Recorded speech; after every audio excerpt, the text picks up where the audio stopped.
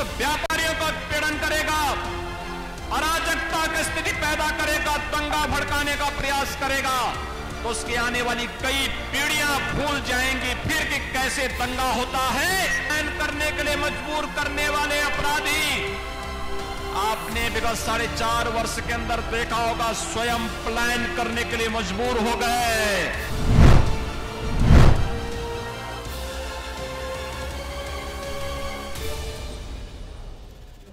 तो सत्ता के वास्ते कैराना के रास्ते। नमस्कार।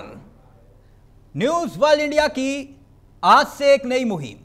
आप लोगों का प्यार आशीर्वाद। एक नई मुहिम के साथ आपका आगाज़, वो तमाम न्यूज़ चैनल्स जो नहीं उठाते आपकी आवाज़, हम इस मंच से पूछेंगे हर वो सवाल जो सवाल आपके हैं, जो आपके जहन में उठते हैं, जो पूछे नहीं जाते।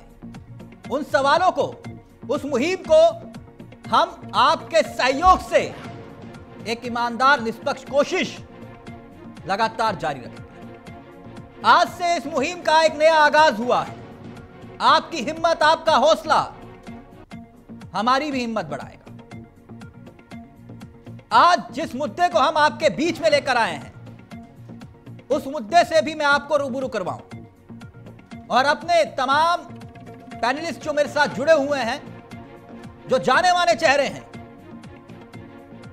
और अपनी बेबाक राय के लिए जाने जाते हैं, अपने तर्कों से तमाम न्यूज़ चैनल्स पर अपनी बात रखते हैं, उनसे भी मैं आपको मिलवाऊँगा।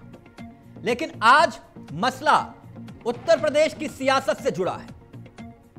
सिर्फ़ और सिर्फ़ उत्तर प्रदेश की सियासत से नहीं जुड़ा, मसला सुप्रीम कोर्ट से भी जुड़ा है, लखीमपुर खीरी से भी जुड़ा है। और जुड़ा है एक राज्य के राज्यपाल से। लेकिन इसकी शुरुआत साल 2017 से करना चाहूँगा।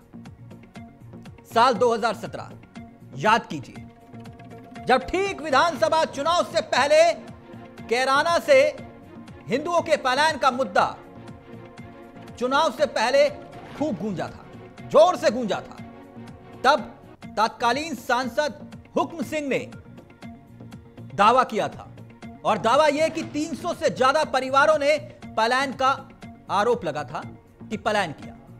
तब अखिलेश सरकार ने आरोप को निराधार बताया। 2018 का उपचुनाव आया, बीजेपी कैराना सीट हार गई 2019 में फिर से बीजेपी ने जीत हासिल की। मगर अब 2022 से पहले कैराना एक बार फिर से सियासत के केंद्र में है। क्योंकि यूपी के मुख्यमंत्री योगी कैराना पहुँचे। कुछ परिवारों से मुलाकात की, जिन्होंने घर छोड़ा था, पीड़ित परिवार। अब विपक्ष आरोप लगा रहा है कि योगी चुनाव से पहले, मुख्यमंत्री योगी आदित्यनाथ चुनाव से पहले सांप्रदायिकता फैला रहे हैं। हिंदू मुसलमान की पिच पर चुनाव लड़ना चाह रहे हैं। यह आरोप है विपक्ष का। मगर सवाल यह कि कैराना पर ज़ोर क्या किसान आंदोलन की काट है? किसान आंदोलन। किसान आंदोलन से जुड़ी हुई एक बड़ी खबर आज सामने आई। लखीमपुर खीरी कांड। सुप्रीम कोर्ट में चौथी सुनवाई थी। सुप्रीम कोर्ट ने कहा, जो जाँच चल रही है, उन्हें उस पर रत्ती भर भरोसा नहीं। यानी सुप्रीम कोर्ट को यूपी सरकार की जाँच पर भरोसा नहीं है। कोर्ट ने कहा कि ऐसा नहीं चलेगा। सवाल क्यों उठा रहे कोर्ट। उस न्यायिक आदेश, उस न्यायिक आयोग को जारी रखने की कोई ज़रूरत नहीं है यह कोर्ट कह रहा है। कुछ नामों का सुझाव भी कोर्ट ने दिया है। तो मसला सीधे तौर पर सियासत से जुड़ा है। आज इसी तमाम मुद्दों पर हम बात करेंगे। हमारे साथ तमाम पैनलिस्ट जुड़ेंगे। हमारे साथ जुड़ेंगे अश्वनी शाही, जो कि बीजेपी के नेता हैं। भूपेश भूदेव शर्मा, जो कि प्रवक्ता है कांग्रेस के।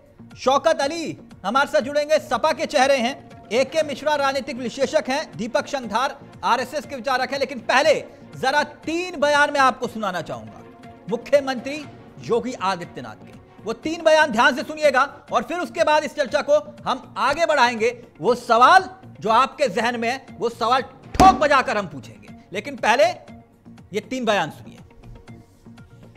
जिन लोगों के वोट बैंक सर्वोपरि है वे मुजफ्फरनगर के दंगाइयों को सम्मानित करते थे। वे केरला के आतताइयों का सम्मान करते थे। क्योंकि उनके लिए वोट बैंक महत्वपूर्ण था। थोड़ा सा जब मुजफ्फरनगर में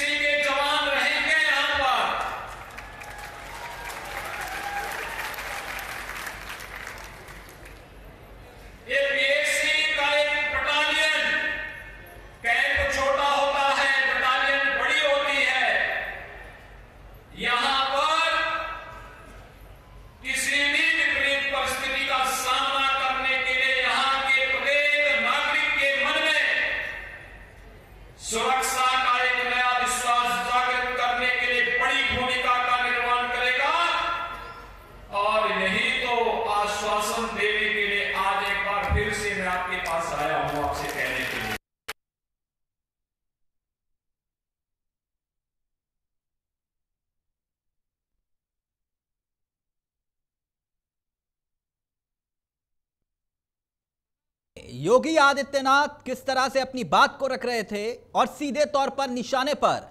कैराना का।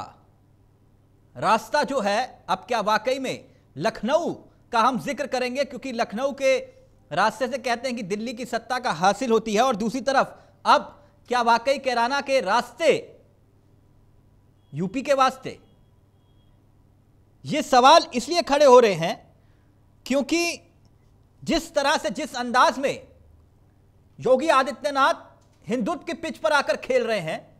उससे संकेत और संदेश साफ़ है कि लड़ाई अब वाकई सांप्रदायिक नज़रिए से लड़ी जाएगी। और क्या वाकई विपक्ष इस पिच पर आकर चुनाव लड़ना चाहेगा? आपको बता दें, हमारे साथ जो मेहमान जुड़ रहे हैं, उनसे आपको रूबरू करवा देते हैं। अश्वनी शाही, जो कि प्रवक्ता हैं बीजेपी के पार्टी के जाने माने चेहरों में से एक हैं। साथ ही साथ, भूदेव शर्मा हमारे साथ जुड़ेंगे। कांग्रेस के प्रवक्ता हैं। कुछ ही देर में आपकी स्क्रीन पर ये चेहरे दिखाई देंगे। ए के मिश्रा हमारे साथ जुड़ेंगे, जो कि राजनीतिक विशेषक हैं। अपनी बेबाक राय के लिए तमाम न्यूज़ चैनल्स पर आप देखते हैं, उनको सुनते हैं और अपनी बेबाक राय के लिए वो जाने जाते हैं। साथ ही साथ, दीपक शंघार मेरे साथ जुड़ेंगे। जो कि आरएसएस और हिंदुत्व का जो मिश्रण इस वक्त देखा जा रहा है। माना जा रहा है कि उत्तर प्रदेश में आरएसएस बेहद एक्टिव हो चुकी है।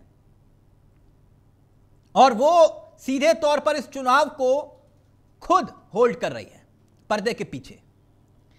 अब इस पूरे सियासी लड़ाई को जिस अंदाज में लड़ने की कोशिश बीजेपी कर रही है क्या वो वाकई में कामयाब होगी?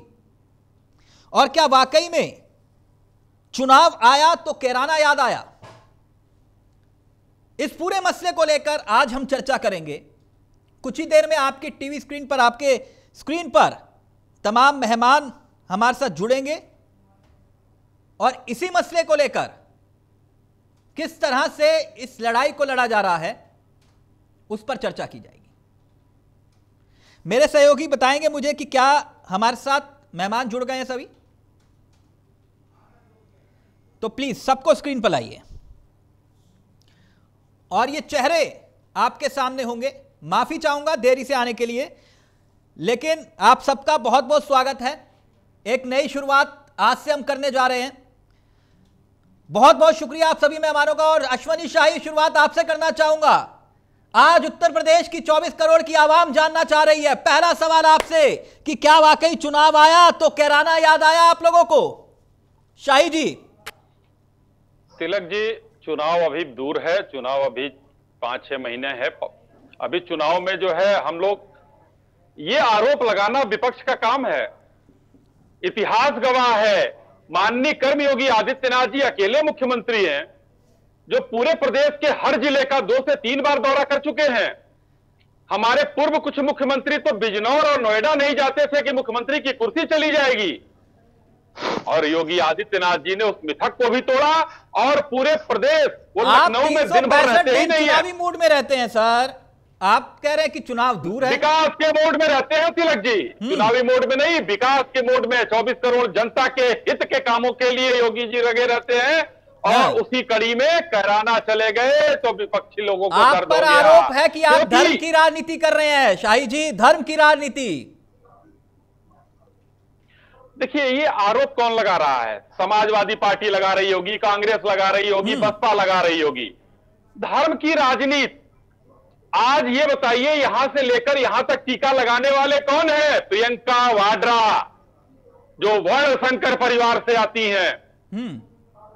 माननीय मौलाना मुलायम सिंह जिन्होंने निहत्थे कारसेवकों के खून से सरजू को लाल किया मौलाना मुलायम सिंह मुलायम सिंह हाँ। और जिन्होंने कहा कैंट विधानसभा लखनऊ के चुनाव में उपचुनाव हो रहा था उन्होंने कहा कि अब मैं इतने हिंदुओं को मैंने मरवा दिया अब मैं क्या करूँ हम्म। आप लोगों के लिए ये धर्म का ये हज हाउस बनवाते थे हमने अपने संकल्प पत्र में राम मंदिर को रखा और हम्म। आज राम मंदिर का भव्य राम मंदिर का निर्माण हो रहा है तो हम जाति धर्म के राजनीति वाले हो गए। आपको एक उदाहरण देता हूँ मैं। आज शाही जी आगे उदाहरण आप पूरा मौका है पूरा मौका है पूरा मौका ए, एक एक एक, एक छोटा सा सवाल। आप ये कह रहे हैं कि ये लोग राजनीति कर रहे हैं। धर्म की राजनीति हम नहीं कर रहे हम तो अपने एजेंडे पर काम कर रहे हैं और हमारा एजेंडा बिल्कुल साफ़ था। तो मुझे एक बात बताइए कि ये अब्बा जान कौन बोलता है? अब्बा जान? अब्बा जान? मैंने अभी कहा मेरे भाईजान अब्बा जान। मान हनुमान की जाति कौन बताता है? हनुमान की जाति। जाति बताने की बात ही नहीं है। अच्छा। जो टोपी लगाकर जो हाँ। टोपी लगाकर और अपने मुख्यमंत्री के घर में अवतारी की पार्टी कर रहे हैं हम्म। और हिंदुओं को मरवा रहे हैं तो अब्बा जान ना कहा जाए उनको तो क्या कहा जाए? हम्म। अच्छा। तो इसीलिए अब्बा जान भाई जान हनुमान की जाति बता रहे हैं आप। भूदेव शर्मा जी सुना आपने? वो ये कह रहे हैं कि धर्म की राजनीति तो आप लोग करते थे। आज फिर तिलक लगा के घूम रहे हैं आप। तिलक जी मुझे मेरी पूरी बात कहने का मौका दिया जाए कि देखिए ऐसा है कि सपा हो बसपा हो या भारतीय जनता पार्टी हो ये तीनों ही पार्टियाँ जाति और धर्म की राजनीति करती हैं। सपा मुसलमानों को हिंदुओं का डर दिखा करके राजनीति करती है और बीजेपी हिंदुओं को मुसलमानों और पाकिस्तान का डर दिखाया जाता है। जैसे ही इलेक्शन आता है, इनको हिंदू याद आते हैं। पाँच साल तक इनको कोई हिंदू नज़र नहीं आते। इनको जब हिंदू नज़र नहीं आते, जब इनको हिंदू धर्म नज़र नहीं आता, जब रात के 12 बजे हिंदू धर्म में हमारी बहन बेटियों को पुलिस प्रशासन के द्वारा जला दिया जाता है, जो हमारे धर्म में नहीं होता है। इनको जब धर्म याद नहीं आता है जब गंगा में लाशें तैरती हुई नज़र आती हैं, उनकी लाशों पर से कफनों को भी खींच लिया जाता है, जब इनको धर्म नज़र नहीं आता है। आज देश के जो मुद्दे हैं, इनको उस समय धर्म याद नहीं आता है, जब हिंदू धर्म के लोगों को ही होटलों में इनके पुलिस प्रशासन के द्वारा मार दिया जाता है, जब इनको धर्म याद नहीं आता है कि जब उसी हिंदू धर्म के लाखों करोड़ों बेरोजगार युवा जब अपने रोज़गार के रोज़गार के लिए अधिकारों की मांग करते हैं तो उन पर बेबस बर्बरता पूर्वक लाठियाँ बरसाई जाती हैं। जब उनको धर्म नहीं आता है कि जब उसी हिंदू धर्म के किसान अपने मांगों के लिए सड़कों पर एक साल से डला हुआ है तब इनको हिंदू धर्म याद नहीं आता है। अच्छा योगी जी लेकिन कैराना गए आपको आपको इनको केवल हो और केवल है? हिंदू। आपको दुख क्यों हो रहा है? वो नहीं। गए। वो कह रहे हैं कि अगर हम पीड़ित हिंदू परिवार है उनसे मुलाकात करें तो आपको दिक्कत क्या है? क्यों दुख हो रहा है? नहीं ये बताइए कि लखीम लखीमपुर खीरी में जिनको इनके नेताओं के द्वारा गाड़ी से कुचला गया क्या वो हिंदू नहीं थे? क्या वो मुस्लिम थे? तब इनको दर्द नहीं हुआ तब वहाँ नहीं गए। कैराना में आज पाँच साल में इनको याद नहीं आई लेकिन चुनाव से पहले याद आया। आप देखिए ये वो लोग हैं जिन्होंने उत्तर प्रदेश को जो 1970 से पहले सर्वाधिक राजस्व देता था आज उसको पिछड़े राज्यों में लाके खड़ा कर दिया। हाँ। और इन लोगों ने उत्तर प्रदेश की जनता का वो हाल किया है जिसके कारण आज उत्तर प्रदेश की जन, जनता इन पार्टियों को छोड़ करके कांग्रेस पार्टी तो की तरफ़ देख रही है। पर जाकर क्यों खेल रहे हो? कह रहे हैं आप लोग मंदिर मंदिर जा रहे हैं। अच्छा एक सेकंड एक सेकंड। नहीं, ए के मिश्रा ए के मिश्रा ए के मिश्रा। अभी रुकिए ना। तिलक जी, तिलक जी, तिलक जी, एक सेकंड रुकिए एक- अभी अभी सबके पास आऊँगा sir. Congress party Tilak ji last Congress party ही एक ऐसी पार्टी है जो केवल मुद्दों को लेकर के चाहे बेरोजगार युवाओं का मुद्दा हो किसानों का मुद्दा हो मजदूरों का मुद्दा हो हर मुद्दे को लेकर के हम चुनाव में जा रहे हैं। ये हिंदू मुस्लिम करने का इनका काम है। हम हमको हिंदू मुस्लिम से कोई मतलब नहीं है। दे, देश और प्रदेश का विकास कैसे करना है इस बात को लेकर के हम चुनाव में जाएँगे। और आप जैसे जैसे चुनाव आएगा आप देखना ये सांप्रदायिकता धर्म की राजनीति करते हुए ये कैसे कैसे आगे बढ़ते रहेंगे। अच्छा तो आपको पूरी उम्मीद है कि चुनाव जो है वो हिंदू मुसलमान पर ही होगा? नहीं इनके लिए हिंदू मुस्लिम पे होगा हमारे लिए विकास पे होगा। इनकी पिच पर तो नहीं प्रदेश जाके का खेलोगे देश ना। का प्रदेश का विकास कैसे करना है? इनकी पिच पर तो बिल्कुल नहीं नहीं खेलोगे। हम विकास के नाम पर ओके दीपक शंदार फिर मैं ए नहीं के मिश्रा के पास आ रहा हूँ एक सेकंड एक सेकंड एक सेकंड को एक सेकंड देश को विश्व गुरु बनाना है। दीपक शंदार दीपक शंदार दीपक शंदार एक बात बताइए लखनऊ का रास्ता अब कैराना से होकर ही जाएगा ना? देखिए। आप लोगों के मुताबिक ही खेल रहे हैं ना सब ये? ये तो बड़ा विचित्र सा सवाल है। मैं क्यों? तो कहता हूँ कि यदि राजनीतिक दृष्टिकोण से देखा जाए और यदि संवैधानिक रूप से विधायिका की दृष्टि से देखा जाए तो हर विधानसभा से हर लोकसभा से होकर लखनऊ का रास्ता तय होना चाहिए। हम्म। और हर विधानसभा विशेष है हर क्षेत्र विशेष है हर व्यक्ति विशेष है। हम्म।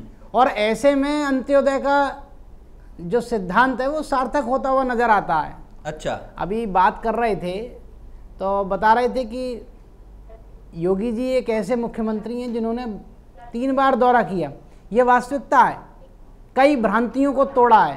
हम्म। एक ऐसा मुख्यमंत्री इस प्रदेश को मिला जो निस्वार्थ भाव से सत्ता तो का लोभ नहीं है। सत्ता का लालच नहीं है। एक ऐसा ही राजा होना चाहिए एक ऐसा ही शासक होना चाहिए। चुनाव विकास पर होना चाहिए या फिर सांप्रदायिकता के आधार पर? चुनाव हमेशा विकास पर होता है।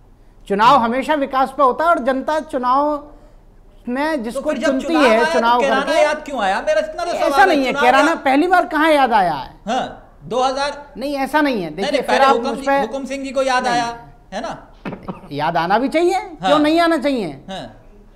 जहाँ जाकर के यदि ये देखिए ये एक राजनीतिक चर्चा का विषय है ये उन लोगों के अच्छा इससे फ़ायदा मिलेगा हिंदुत्व के झंडे को?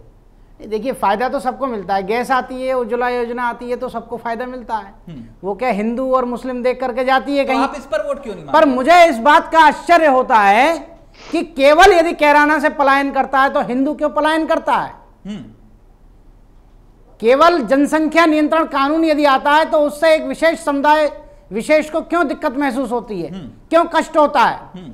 370 हटती है तो एक संप्रदाय विशेष को क्यों कष्ट अच्छा आप कह रहे हैं कि इसका फ़ायदा मिलेगा। अच्छा यदि- मिश्रा जी मिश्रा जी अरविंद यदि जुड़ तीन तलाक हलाला जैसे विषयों पर चर्चा होती है तो एक संप्रदाय विशेष को मिश्रा। क्यों दिक्कत महसूस होती है? राजनीति के पंडित भी हैं। मिश्रा जी राजनीति के पंडित भी हैं और बड़े ज्ञाता आदमी हैं। प्रभु जरा बताइए उत्तर प्रदेश की आवाम को क्या वाकई मैंने नाराज़ हो गए ये सारे? शाही साहब भी नाराज़ हो गए। दीपक जी भी नाराज़ हो गए। मैंने तो इतना ही पूछा कि लखनऊ का रास्ता कैराना से होकर गुजरेगा और चुनाव आया तो कैराना याद आ गया।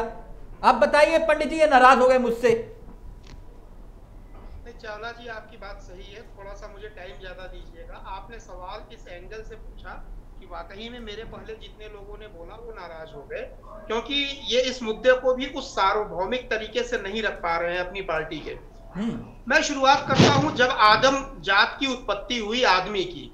हम्म। आप जरा मुझे ये बताइए कि सबसे प्रमुख मुद्दा जन्म लेने के बाद हर जीव का क्या होता है? सुरक्षा होता है। हम्म। करेना का मुद्दा जो है वो आपका सुरक्षा और पलायन से जुड़ा हुआ है। तो मैं ये बोलूँगा कि जब आदमी पैदा हुआ तो पहले जंगलों में रहता था वो गुफा में गया तो सुरक्षा के लिए गया। सारे देश आप अमेरिका देखिए नाइन अलेवन हुआ सुरक्षा के कारण अमेरिका ने कितने सारे अटैक किए चाइना वगैरह सब। सुरक्षा का मुद्दा एक सबसे ऐतिहासिक मुद्दा है जो आज तक मुद्दा बना हुआ है मानव इतिहास में हम्म। मानव के डेवलपमेंट की हिस्ट्री में।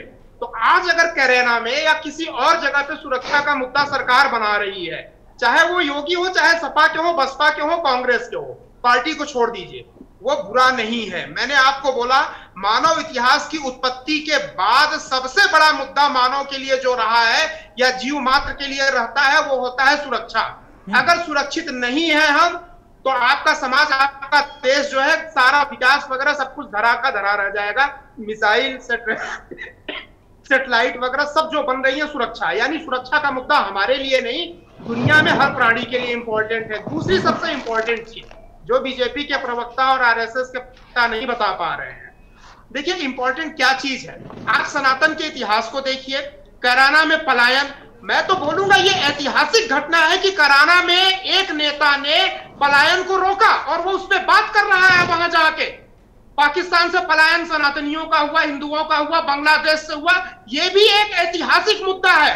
कम से कम हज़ारों साल में पहली बार ये खबर आ रही है कि हिंदुओं का पलायन रुका है। ये चाहे समाजवादी पार्टी करे, चाहे योगी आदित्यनाथ करे, चाहे कांग्रेस करे। जो भी करेगा मैं उसका स्वागत करूँगा। दसियों हज़ार साल के इतिहास में अफ़गानिस्तान से हमारा पलायन होता रहा। भारत भूमि पे रहने वाले लोगों का पलायन। आप चाहे कह रहे हैं। चुनाव तो चुनाव में पलायन का कैराना मुद्दा बनेगा। चाहिए। कैराना मुद्दा बनेगा चुनाव में आपको ऐसा लग रहा है? नहीं मैं आपको बत, मैं आपको बताता हूँ। नहीं मैं आपको बताता हूँ ऐसा नहीं है कि यूपी इतना डाइवर्सिफाइड है कि केवल किराना एक मुद्दा रहेगा बहुत सारे मुद्दे हैं। क्यों हर चुनाव सारे लोग मैं आपने आपको देखा बत- चुनाव शमशान कब्रिस्तान पर भी हुआ? उत्तर प्रदेश में। अरे चावला सर मैं आपको बताता हूँ इसके पहले जो चुनाव हुए हैं पाँच हज़ार साल पहले के भी मुद्दे बने हैं। कांशीराम कौन सा मुद्दा बनाते थे? कांग्रेस कौन सा मुद्दा बनाती थी? तो चुनाव में तो पाँच हज़ार दस हज़ार साल पहले का मुद्दा बनता है। अरविंद कटेरिया- और ये प्रागैतिहासिक प्रागैतिहासिक काल के मानव का मुद्दा। बना है सुरक्षा जी जी सुरक्षा जी जी। अरविंद। कटेरिया साहब चुनाव आया तो जी, आवाज़ आ रही है लेकिन- लेकिन आप लोग क्यों नाराज़ हो रहे हैं? योगी जी जा रहे हैं तो वो हिंदू पीड़ित परिवारों से मुलाकात कर रहे हैं। तो आपको क्या दिक्कत?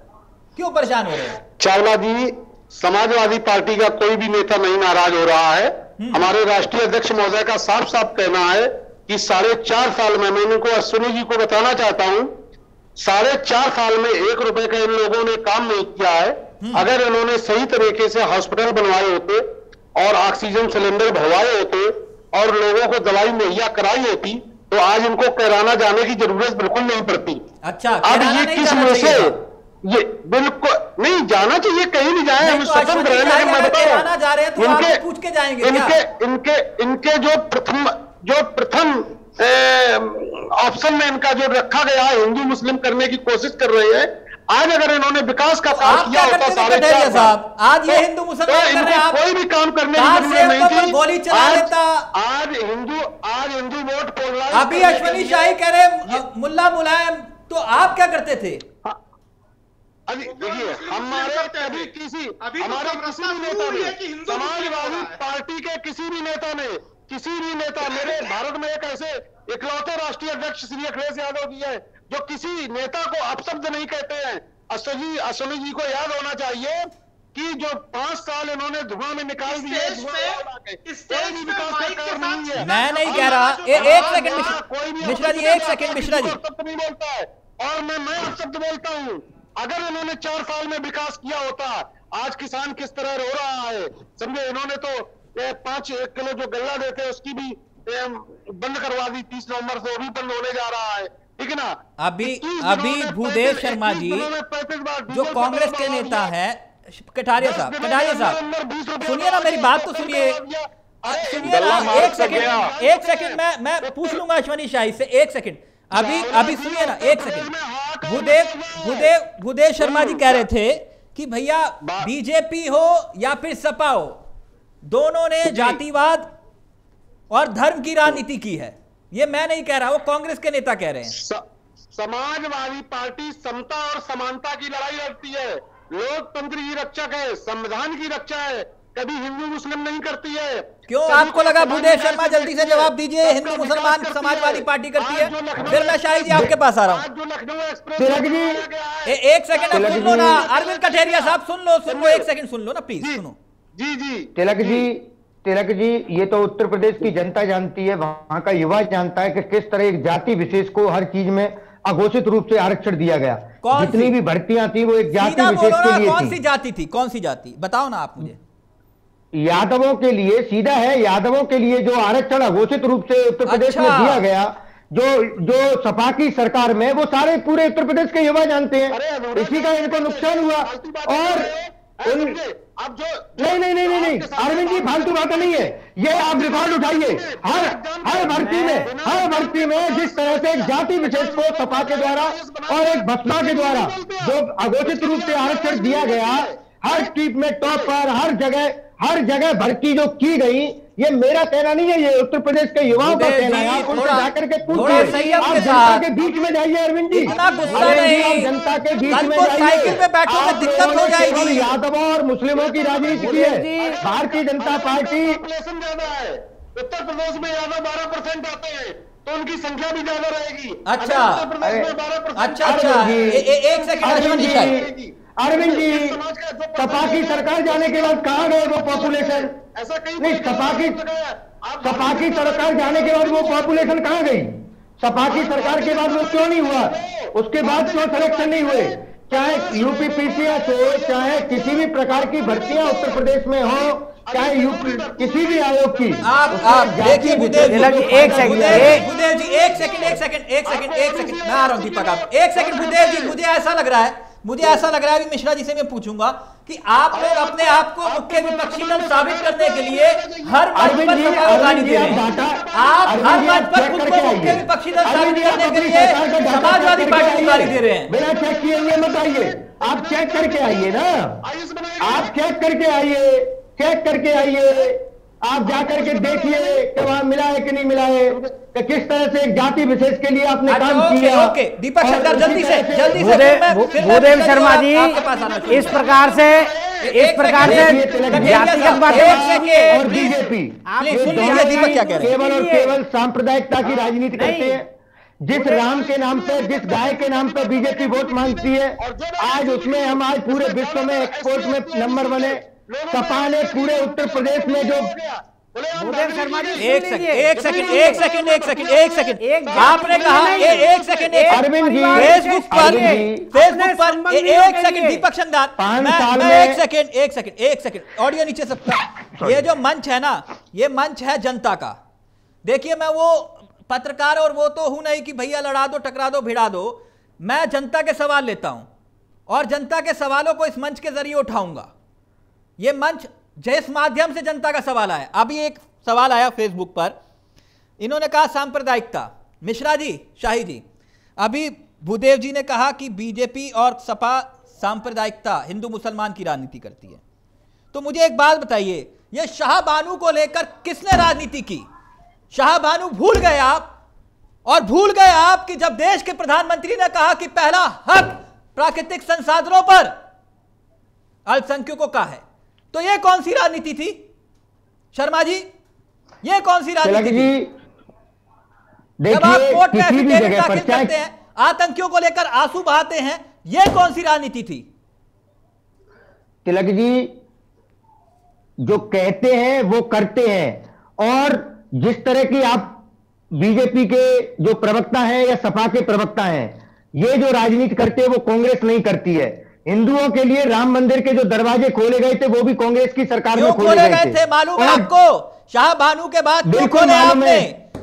नहीं तो आप देखिए तिलक जब प्रधानमंत्री कहते हैं कि पहला हक प्राकृतिक संसाधनों पर। होते हैं उनका ध्यान रख वहाँ का उन अल्पसंख्यकों का ध्यान रखने का काम वहाँ की सरकार का होता है। तो फिर ये किसने कहा तो था? उनको उनको राम है ही नहीं। फेंक दिया जाएगा प्रभु राम है ही नहीं। Okay, Ashwani Shahi, quick reaction. फिर आ रहा हूँ मैं मिश्रा आपके पास। देश में शिक्षा को बढ़ावा दिया देश में स्वास्थ्य को बढ़ावा ओके, ओके। देश को विश्व गुरु बनाने के लिए काम किया फ़ायदा मिलेगा को फ़ायदा हुआ ये ये फ़ायदा मिलेगा आप तो कह रहे हमने रोज़गार दिए लोगों को पकड़ पकड़ कर अश्वनी शाही आप कह रहे हमने विकास की गंगा बहा दी लोगों के घर नल और जल पहुँचा दिया हमने इतना विकास किया लेकिन फिर भी मांगते हैं वोट आप हिंदू मुसलमान पर प्रभु राम के नाम पर शाही जी हमने हमने कहा मांगा है? ये तो परसेप्शन सेट कर रहे हैं ये लोग। अभी देखिए भूदेव शर्मा जी ने कहा कि राम मंदिर का ताला कांग्रेस ने खुलवाया। तो मैं भी कहना चाहता हूँ कि भव्य राम मंदिर का निर्माण नरेंद्र मोदी ने कराया। अरे भाई उस समय भी आ, कोर्ट के आदेश पर था और आज भी कोर्ट के आदेश पर है। तो मैं भी तो कह सकता हूँ नरेंद्र मोदी ने कराया। तो मैं कह रहा हूँ अगर इसको आप हमारे कहने पर अगर इस चीज़ को चावला साहब की कहा जाए कि नहीं ये कहते हैं कि इन्होंने कराया? मान लेते हैं आपकी बात।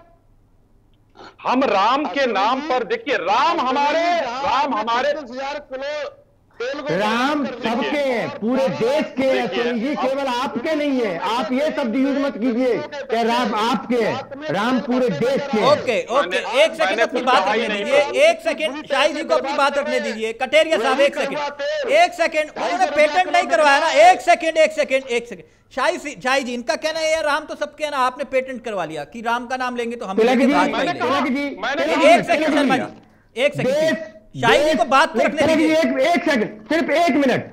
देश आज अपने छोटे छोटे पड़ोसी देशों से भी 48 से अधिक रैंक में पीछे चला गया। भुखमरी में 101वें नंबर पे आ गए हम अफ्रीका देशों के बराबर में। देश में लोग भूखे मर रहे हैं महँगाई चरम स्तर को छू रही है। ए- ए- जो दो। करोड़ रोज़गार देने का वादा करते थे उन लोगों ने लोगों के रोज़गार छीन जवाब लिए दीजिए, जवाब और आज दीजिए वो बात कर रहे हैं। देश के विकास की। जल्दी से अश्वनी शाही जवाब दीजिए। आपने देश को जिस शर्मा जी, प्लीज़ एक-एक करके, शर्मा जी का ऑडियो नीचे। लेके चले गए। शर्मा जी का ऑडियो नीचे। आवाज़ इको हो रही है। आप आ, मैं निवेदन करूँगा भूदेव शर्मा जी से और अरविंद जी से कि कृपया बीच में ना बोले क्योंकि आवाज़ इको होके आ रही है कुछ समझ में नहीं आ रहा है। प्लीज़ शाही जी मैं ये कहना चाहूँगा चावला साहब अभी अभी मैंने राम की बात नहीं की। हाँ राम हमारे संकल्प पत्र में थे हैं और रहेंगे। भारतीय जनता पार्टी ने राम मंदिर के लिए लड़ाई लड़ी है। इन लोगों ने तो काल्पनिक बताया है एक पार्टी ने तो गोली चलवाई है तो हमारे थे और रहेंगे पेटेंट नहीं कराया है। वो सभी हिंदू के हैं जो हिंदू हृदय से है जो हिंदुस्तान में निवास करता है। दूसरी बात में आता हूँ मैं। इन्होंने अभी कहा महँगाई पर आप आइए। भूदेव शर्मा जी ने अभी अभी तुरंत तुरंत कहा कई चीज़ें कई आरोप लगाए इन्होंने। शर्मा जी हंगर इंडेक्स कौन बनाता है आपको पता है? दो छोटे अरे बोलिए मत सुनिए मैंने बहुत सुना आप लोगों को। जब भारत जब इंडिया जब हार होता है तो मोदी जी ने किया। है? और जब मोदी जी की बुराई? होती है तो? निकालते हो। शर्मा, जी।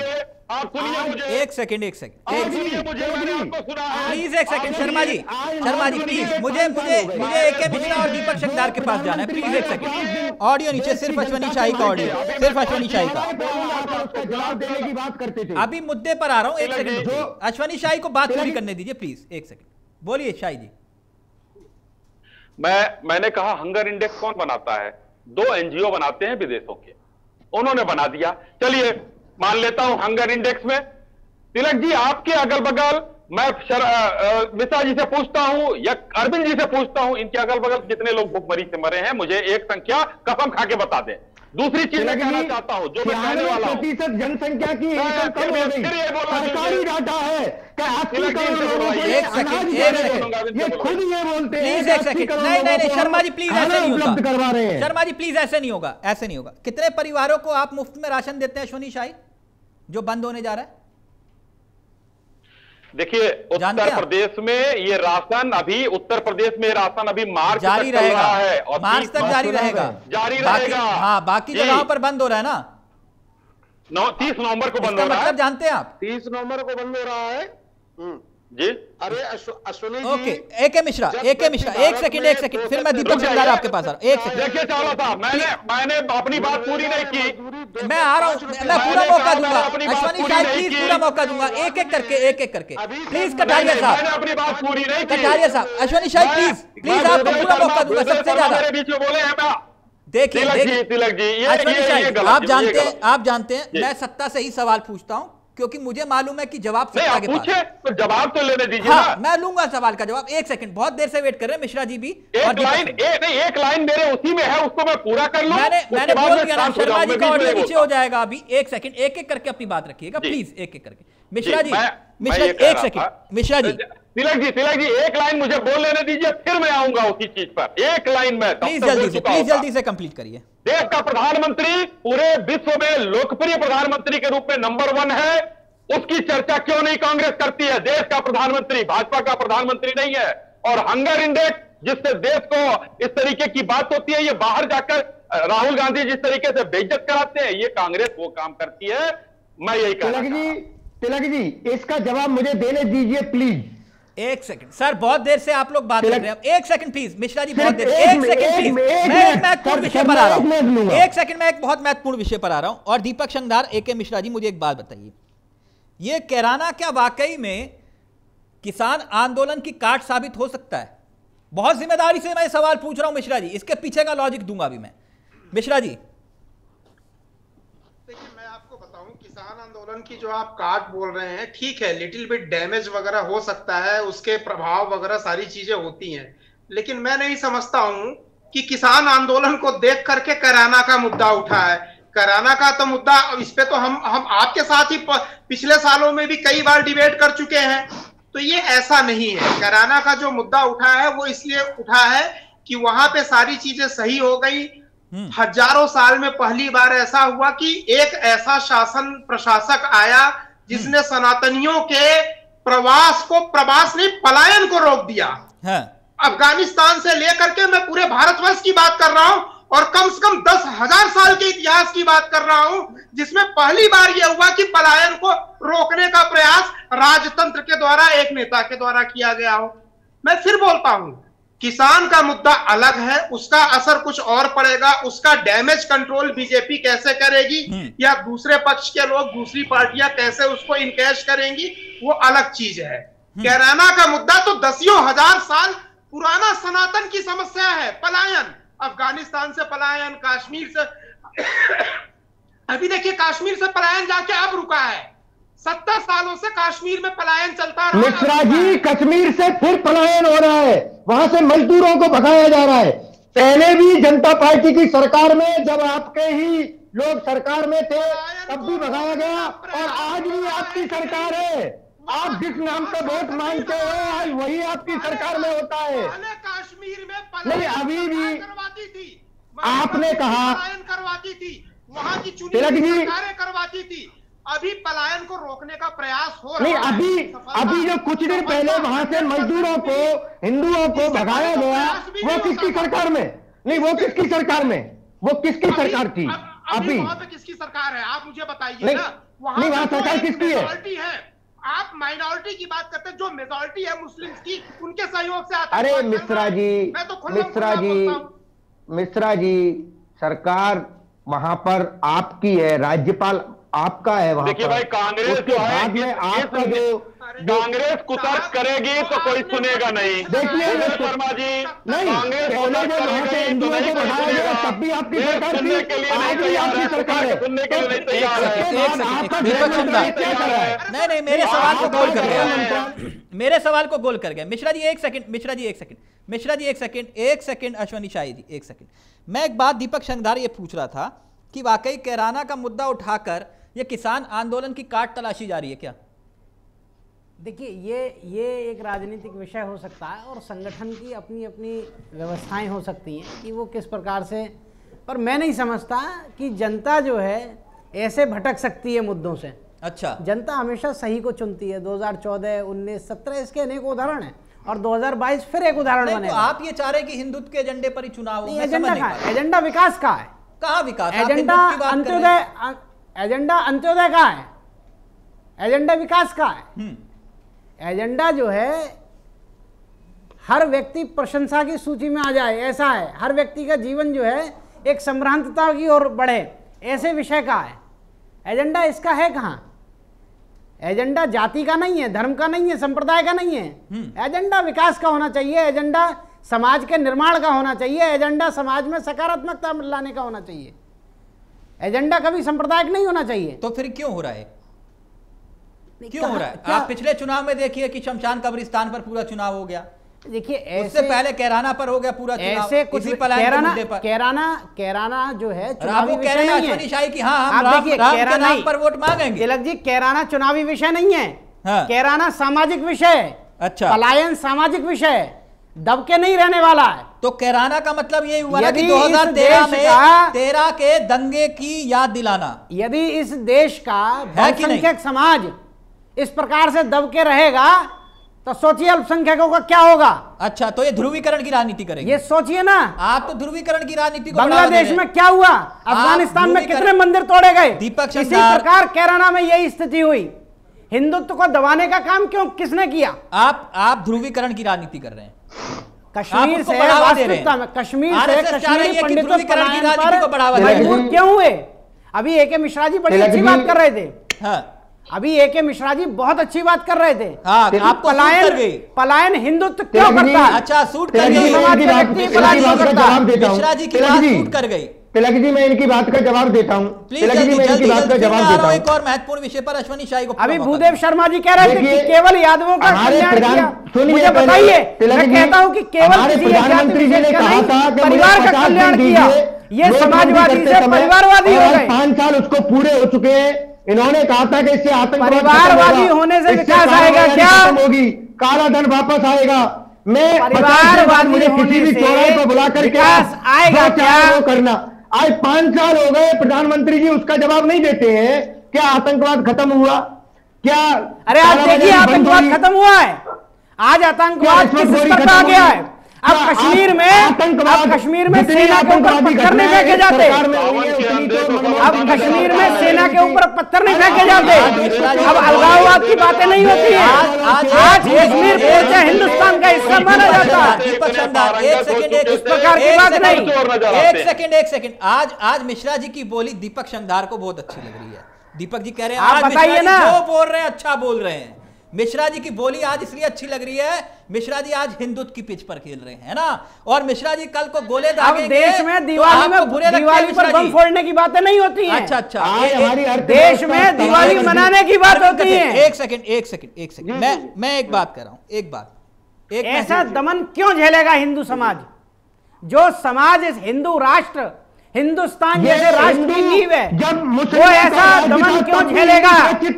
तो- अंग्रेज़ों के टाइम में तो जब जब एक सेकंड एक सेकंड जब बीजेपी जब। बीजेपी नहीं थी तब हिंदुत्व खतरे में 2014 के बाद जब बीजेपी हिंदू- हिंदू आप देखिए ना कश्मीर में क्या स्थिति थी? 2014 के बाद हुआ है। एक सेकंड एक सेकंड एक सेकंड एक सेकंड आप हज़ारों साल से एक हिंदू एक सेकंड एक हिंदुत्व जो है हिंदू सांप्रदायिक मुद्दा नहीं है। सांप्रदायिक विषय नहीं है। राष्ट्रवादी विषय है। अरविंद कठेरिया। हिंदू का हिंदुस्तान के लिए अरविंद कठेरिया। राष्ट्रवादी विषय एक सेकंड एक सेकंड एक- विषय नहीं है। मैं मैं एक छोटा सा सवाल का जवाब दे रहा हूँ फिर मैं पूरा समय अश्वनी शाही को दूँगा। एक सेकंड एक सेकंड एक सेकंड एक एक बहुत महत्वपूर्ण विषय। देश में एक शर्मा जी प्लीज़ के नाम पर शर्मा जी समझ क्यों नहीं है, रहे आप? और आज वही देश बीफ के में जी उन गायों को काट दिया था। संसद के सामने खड़ा करके साधु संतों की हत्या कर दी थी। है? लोकसभा के सामने इंदिरा गांधी के काल में। बन सकता है क्या? जिस देश में गाय के नाम पर लिंचिंग होती है इलेक्शन होते हैं एक सेकंड और वही शर्मा जी शर्मा जी का ऑडियो नीचे प्लीज़ पीसीआर पीसीआर एक second please please Sharma ji का ऑडियो नीचे प्लीज़ मैं अश्वनी शाही को पूरा मौका दूँगा। एक सेकेंड। अब सबका ऑडियो नीचे रहेगा। सबका ऑडियो नीचे रहेगा। सबका ऑडियो नीचे रहेगा। शर्मा जी का ऑडियो नीचे प्लीज़ पीसीआर पीसीआर प्लीज़ परिवार का जिस जिस परिवार को ये नहीं पता। अश्वनी शाही जी आप सुन लीजिए सुन लीजिए। मैं कठहरिया साहब के पास जाऊँ। मेरे कुछ सवाल के जवाब चाहिए आपसे। और बहुत ध्यान से सुनिएगा संयम के साथ। पहला सवाल मैंने ये पूछा था शर्मा एक सेकंड मैंने मिश्रा जी से पूछा था कि क्या वाकई में कैराना किसान आंदोलन की काट है। अश्वनी शाही जी सुन लीजिए सवाल सुन लीजिए। लड़ना नहीं आराम से। दरअसल इसके पीछे एक सवाल के पीछे एक भाव था। अब मैं उस पर आता हूँ। सब लोग ध्यान से सुनिएगा। सत्यपाल मलिक जी का नाम सुना है? अश्वनी शाही जी। जी। सुना है ना? जी। सत्यपाल मलिक जी कहते हैं कि जानवरों की मौत पर दिल्ली से शोक संदेश आ जाता है। मगर किसानों की मौत पर कोई शोक संदेश नहीं आता। आंदोलन की बात करते हुए वो कहते हैं कि देश में इतना बड़ा आंदोलन आज तक नहीं चला जिसमें 600 लोग शहीद हुए। अमूमन कोई हादसा होता है तो दिल्ली के नेता का शोक संदेश जाता है। लेकिन किसान आंदोलन के दौरान कोई प्रदर्शनकारियों की मौत पर संसद में भी प्रस्ताव नहीं दिया गया। यह सत्यपाल मलिक जी की बातों के भाव में सरकार निशाने पर क्यों है? आप तो कह रहे हैं अपना विकास कर रहे हैं। सत्यपाल मलिक जी कुछ और कह रहे हैं। अश्वनी शाही जी। देखिए देखिए इसको आप हेडलाइन भी चला सकते हैं कोई दिक्कत नहीं है लेकिन अरविंद कठेरिया साहब सवाल आपसे पूछूँगा तो आप जवाब दीजिएगा प्लीज़ आप लोग कहते हैं कि सत्ता में सवाल नहीं पूछे जाते। जब मैं पूछ रहा हूँ तो आप जवाब नहीं दे रहे। दे रहे इंसानों के लिए थर्मामीटर नहीं आया। अरविंद कठेरिया साहब। पाँच साल काम नहीं किया। कठेरिया साहब कठेरिया साहब सवाल पूछ लू? सवाल पूछ लूँ? आप लोग कहते हैं सत्ता से सवाल नहीं पूछे जाते। सवाल पूछ लूँ? वरना वहाँ बैठ के सर्टिफिकेट देंगे अभी आप। रुक जाइए एक सेकंड अश्वनी शाही जवाब दीजिए। क्यों कह रहे सत्यपाल मलिक जी ऐसा? तिलक जी देखिए चाहे अरविंद जी हो बड़े विनम्रता से मैं कहना चाह रहा हूँ कम से कम डिबेट की गरिमा को आप लोग बना के रखिए अपने टाइम पर बोले आप। सबका जितना गाली देना हो को गाली दीजिए मैं सुनने के लिए तैयार हूँ। सबका ऑडियो नीचे कर दिया शायद ही आप चालू हो जाते हैं इधर आप चालू हो जा रहे हैं। क्या तरीका है भाई गरिमा नहीं चावला साहब एक म्यूट का बटन है सबके सामने। जब कोई दूसरा बोले तो म्यूट कर ले। शा- शाही जी। मैं किसी के बीच में बोल नहीं रहा हूँ। हाँ, हाँ, और यहाँ चालू हो जाते हैं ऑडियो कर दिया सवाल पे आइए सवाल का जवाब प्लीज़ सत्यपाल मलिक जी जो सवाल का। जवाब मेरा। सत्यपाल मलिक जी देखिए लोकतांत्रिक देश है लोकतांत्रिक पार्टी है। हम्म। उनका बोलने का अपना हक है। राज्यपाल के पद पर रहते हुए अगर वो बोल रहे हैं हम्म। तो मेरी भाषा में मैं कहूँगा कि पहले वो इस्तीफा दे फिर कुछ बोले जाकर। अच्छा पहले बोलने का अधिकार है। अच्छा आप तो कह रहे हैं लोकतांत्रिक है फिर आप कह रहे हैं इस्तीफा दे फिर बोले। मैंने कहा ना कि लोकतांत्रिक है कोई बोल सकता है। हम्म। मतलब गवर्नर को अधिकार नहीं है सरकार को मेरी नज़र में गवर्नर को अधिकार नहीं है सरकार को लेकर कुछ बोलने का आप ये कह रहे हैं। वो एक संवैधानिक पद पर है उनको अच्छा, नहीं बोलना चाहिए। पद पर बैठा हुआ व्यक्ति नहीं बोल सकता। इन इन चीज़ों पर बोलना है तो आंदोलन में शामिल हो जाके ना। अच्छा आंदोलन में पहले। सत्यपाल जी दोनों आंदोलन में काम करेंगे। अच्छा मेरा अगला सवाल। काम करेंगे। मेरा अगला सवाल मेरा अगला सवाल। ध्यान से सुनिएगा मैंने ये बात कही आपने कहा कि वो संवैधानिक पद पर है। एक और टिप्पणी आई यार आपको मालूम है सुप्रीम कोर्ट ने आज लखीमपुर खीरी के मामले पर चौथी सुनवाई की। कोर्ट ने क्या कहा मैं बता देता हूँ। कोर्ट ने कहा कि जो ये जाँच चल रही है उन्हें रत्ती भर भी इस पर भरोसा नहीं है। सुप्रीम कोर्ट को यूपी सरकार की जाँच पर भरोसा नहीं है। आप समझ रहे हैं अश्वनी शाही? सुप्रीम कोर्ट को यूपी सरकार की जाँच पर भरोसा नहीं है। सवाल क्यों उठा रहा है सुप्रीम कोर्ट फिर? चावला साहब चावला साहब चावला साहब देखिए सुप्रीम कोर्ट में जो जज साहब हैं वो भी एक मनुष्य हैं। ओहो। और जो आज उन्होंने कहा पूरी बात सुनिएगा। जी जी। बीच में कोई ना बोलेगा। नहीं नहीं कोई नहीं बोलेगा। जब उन्होंने जब उन्होंने एक बात कहा कि न्यायिक समिति का गठन करके दो जजों के नाम भी सुझाए उन्होंने। हम्म। उनको क्या ध्यान नहीं आया कि एक हाईकोर्ट के पूर्व जज की उन पीड़ित परिवारों से जिनके यहाँ लोग मरे थे उनके परिवारों ने जब न्यायिक समिति की मांग की प्रदीप जज कुमार की नियुक्ति उत्तर प्रदेश सरकार ने कर दी हम्म। तो आज जज साहब को यह निर्णय देने की क्या ज़रूरत थी क्या वो अच्छा। उस जज के ऊपर भी भरोसा नहीं करते हैं? अच्छा चलिए न्यायिक व्यवस्था पर भी आपको भरोसा नहीं एक छोटा सा सवाल का मुझे फिर जवाब दीजिए। नहीं, तो आप आप एक तो सेकंड एक हूँ सेकंड यही सुप्रीम कोर्ट यही कोर्ट अगर अगर कोर्ट राम मंदिर और सीए को लेकर अपना अपना कोई भी स्टेटमेंट और कमेंट करता है और जजमेंट जारी करता है तब आप ताली और थाली बजाते हैं। बजाते हैं कि नहीं बजाते? और आज कोर्ट कोर्ट की टिप्पणी पर आपको दिक्कत हो गई। मैं फिर से दोहरा रहा हूँ चावला साहब मैं अपनी बात को फिर से दोहरा रहा हूँ उसको ध्यान से सुनिए उसके बाद अर्थ निकालिए। न्यायिक समिति का गठन उत्तर प्रदेश सरकार कर चुकी होती है। हाँ। हाई कोर्ट के रिटायर्ड जज प्रदीप कुमार जी को। हम्म। उसके बाद आज जो है माननीय जज साहब दो जजों के नाम सुझाते हैं। तो क्या उनको अपने ही जज पर भरोसा नहीं है? अच्छा। अरे भाई ये एक सेकंड, कठेरिया साहब, प्लीज़, एक सेकंड, एक सेकंड, नागरिक को जानने का हक है। मैं ये कह रहा हूँ मैं ये कह रहा हूँ कि फिर लखीमपुर के गुनेगारों को बचा कौन रहा है? सुप्रीम कोर्ट को ऐसा क्यों लग रहा है? क्यों लग रहा है? कोई नहीं बचा रहा है। हम्म। कोई नहीं बचेगा। हम्म। जो गुनागार थे वो गुनाहगार जेल के पीछे है और आने वाले दिनों में उसी का न्यायालय को उनका फैसला सुनाना है। शाही जी मैं कोई नहीं बचा रहा अच्छा चलिए मैं अभी अभी जवाब मिल जाएगा अभी जवाब मिल जाएगा। कठेरिया साहब रखिए। आप तय करेंगे या विपक्ष तय करेगा ये पहले तय कर लीजिए। नहीं नहीं नहीं, हम कौन तय करने वाले होते हैं? शाही जी मैं तो सिर्फ़ इतना जानना चाह रहा हूँ कि जरा उत्तर प्रदेश की जनता को यह भी बताइए कि अब तक इस मामले पर कितने फ़ोन जब्त हुए? जानते हैं आप? कितने फ़ोन जब्त हुए? फ़ोन अब अब कितने जब्त हुए हैं ये? फ़ोन आज सुप्रीम कोर्ट का आपने एक पढ़ लिया कि एक फ़ोन क्यों जब्त हुआ तो उसको बता रहे हैं। एक फ़ोन जब्त हुआ। अब पुलिस आरोपी जाँच कर दस आरोपी हिरासत में है। फ़ोन एक जब्त हुआ। सुनिए। दस दस आरोपी हिरासत में फ़ोन एक जब्त हुआ। हुआ कि नहीं बताइए? जब ये माननीय सुप्रीम कोर्ट के सामने है तो उसे बताना क्या है? हाँ ये पुलिस तो अधिकारी आपने पुलिस आपने अधिकारी फ़ोन जिसने नहीं नहीं किया किए। है। आपने फ़ोन एक सेकंड एक सेकंड दीपक शंकर एक ए, आप आरएसएस के चेहरे हैं आप बीजेपी के नहीं है ना? एक बीजेपी जवाब दे देगी। आप क्यों बैक फायरिंग कर रहे हैं? सुन लीजिए, आप क्यों कवरिंग फायरिंग में आ गए? नहीं मैं कवरिंग फायरिंग नहीं कर रहा आप सुनिए एक सेकंड ना आप आरएसएस के हैं आप अभी आपने हिंदुत्व का एजेंडा चलाइए एक सेकंड एक ना ना एक दर्शकों को सही जानकारी सही जानकारी आप दे दीजिएगा। प्रयास होना चाहिए। होना चाहिए। मैं मैं तो उसी प्रयास के आधार पर सवाल पूछ क्या रहा है? अभी दीपक शंकर एसआईटी एसआईटी जो भारत की एक बड़ी नहीं तो आने दीजिए ना। तिलक जी आपको क्यों कष्ट हो रहा है? अगर वो जानकारी देना चाहते हैं अब एक तरह से तो आप भाजपा आरएसएस को ऐसी मिला देते हैं अगर एजेंसी आरएसएस आप का कोई व्यक्ति बोलने चाहता तो उसको अब रोक शाही रहे जी, क्यों रोक रहे भाई। इसमें आपका क्या हित नाराज़ हो रहे हो? उसमें चावला पूछ रहा हूँ साहब का क्या हित है? बताएँ। एक सेकंड रुकिए ना। ना ना ना ना ना अरे कहा प्रभु? नाराज़ क्यों होंगे? आप तो सेकंड। आप लोग पूछिए हम तो जवाब देने हाँ, बैठे शाही हैं जी मैं एक, सवाल पूछूँ लेकिन- दीपक भाई दीपक भाई एक छोटा सा सवाल लेकिन सच्चाई नहीं तहरीर अगर उनको आपने कहा चलिए दस आरोपी तो हिरासत में लिए उसमें से एक का फ़ोन जब्त हुआ एक का एक का फ़ोन जब्त हुआ नौ का नहीं। मुझे एक बात बताइए। तहरीर में नाम था गृह राज्य मंत्री का तहरीर में। हम्म। एक महीने हो गए एक महीना पाँच दिन हो गए एक महीना भी नहीं एक महीना पाँच दिन हो गए। हो गए ना सर? हम्म। उनसे कोई पूछताछ भी नहीं हुई। क्यों? तिलक साहब इसको पूरा फिर सुनिएगा मैं कहना चाहता हूँ तहरीर में उनके ऊपर धारा क्या लगी थी?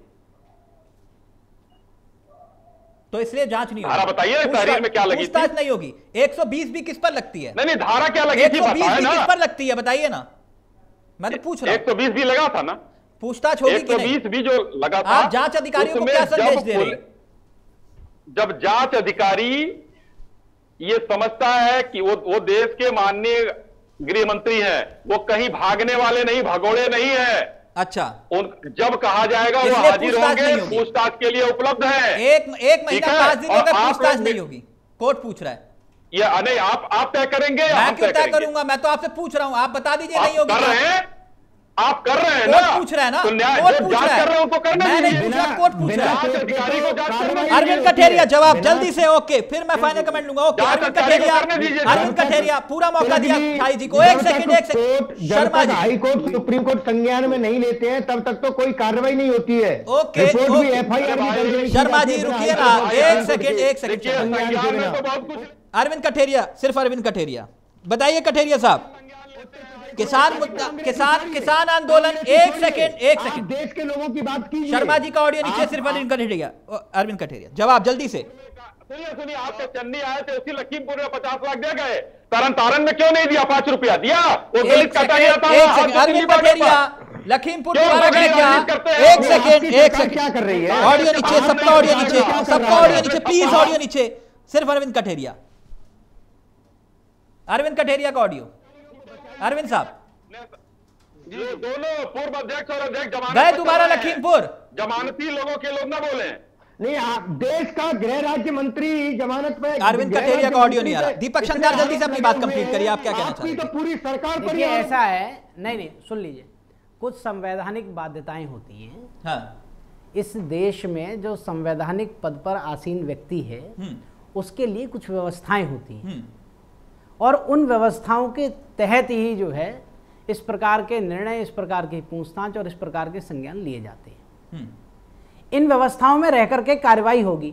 अभी जो बात चल रही थी जो विवेचनात्मक उसकी जो विवेचना हुई है उससे अभी माननीय न्यायालय जो है संतुष्ट नहीं हो पा रहा है। अच्छा।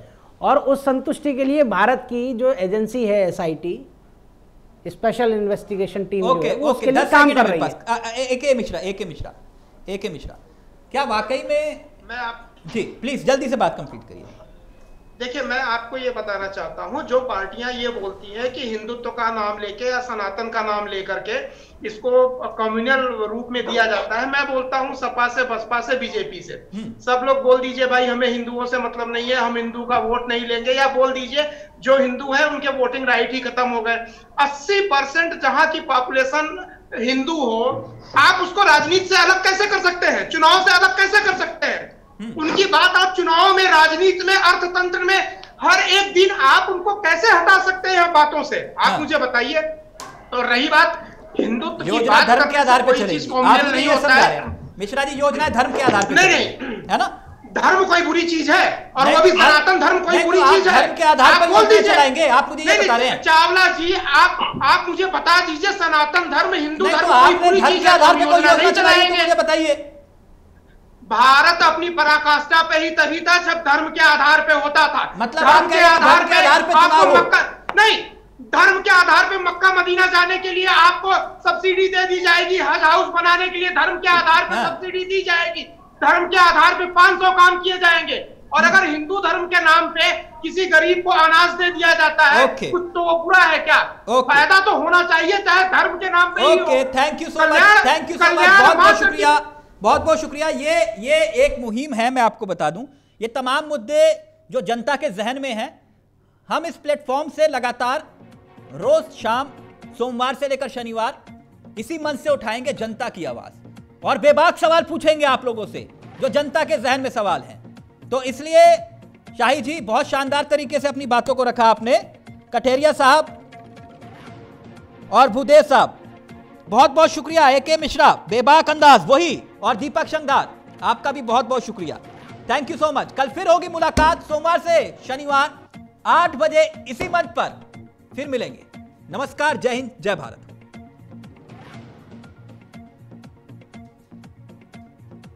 निर्दोष व्यापारियों का उत्पीड़न करेगा। अराजकता की स्थिति पैदा करेगा, दंगा भड़काने का प्रयास करेगा।